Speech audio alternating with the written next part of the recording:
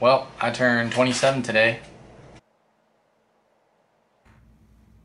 Two weeks deep into the semester. I've missed two calc classes, so I've barely done anything with that. Been kind of neglecting my online classes, but whatever. But abstract algebra owns most of my stress and anxiety this semester.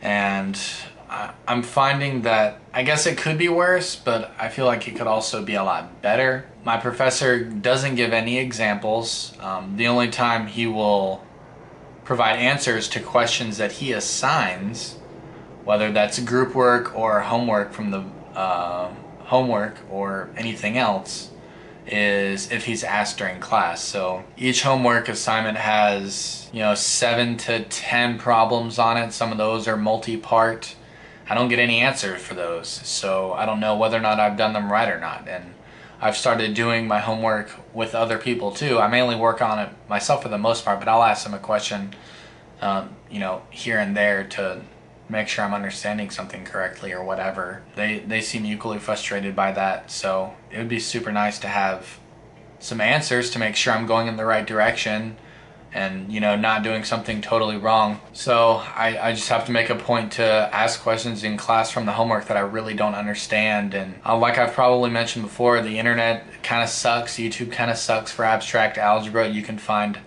maybe a dozen or two videos on really basic stuff but anything beyond that is just more or less a lost cause with a very few exceptions.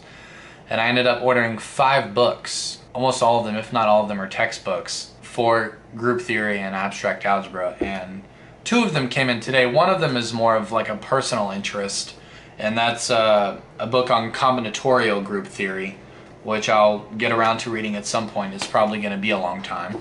Might be at the end of the semester. And another one is by M.A. Armstrong, Groups and Symmetry. And this is meant to be um, a textbook. So I'm going to peruse this tonight a little bit in the midst of my homework and we'll see what that's like and if I like it then well I'll, I'll review it either way but if I like it obviously I'll let you know.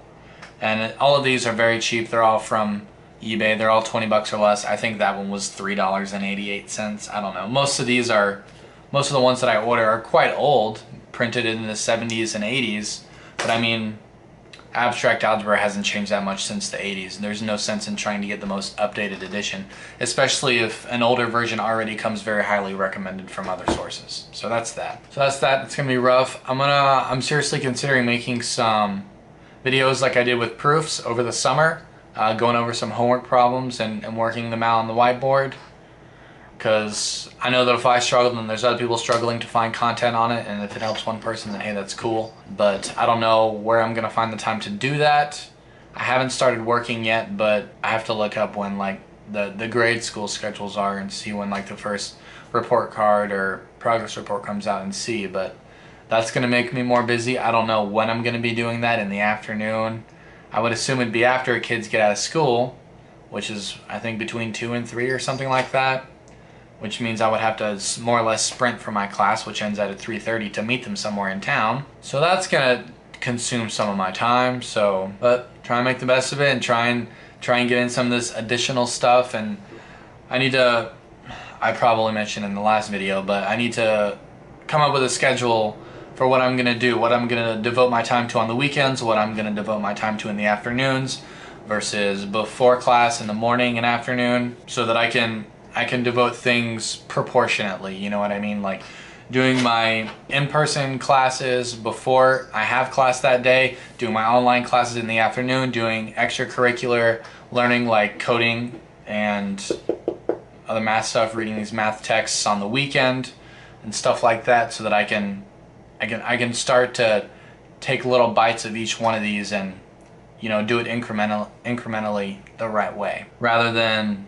um, you know, neglecting my schoolwork and, and all of this other stuff and, and housework and stuff to devote a whole day randomly to, to coding or learning Python or R or something like that. I want to be do a little bit of a time, just you know, just like a class, but on my own time. Juggling a lot right now. I'm trying to trying to start up a routine. We've been out of town every weekend. We're out of town this weekend. I was gonna go out of town next weekend. Can't really pull that one off with all this work I have to do and I need to do some catch up because I did exactly zero over my four day weekend. So yeah, that's that. Thanks for watching and we'll see you next time.